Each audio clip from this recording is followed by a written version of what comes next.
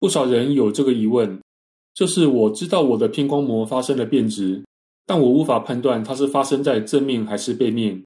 像这个荧幕已经严重到表面都隆起了，那正面偏光膜肯定变直。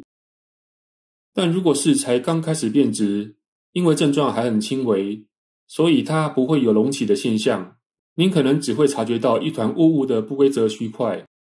这里教大家一个简单的方法：先在变植物化的区块中找一个特征作为观察点，例如这个圆弧，然后拿您手边的铅笔、圆珠笔或镊子去顶着这个观察点，并且保持不动。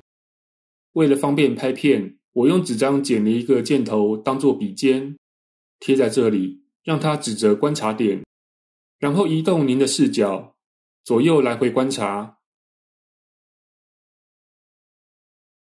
上下来回观察，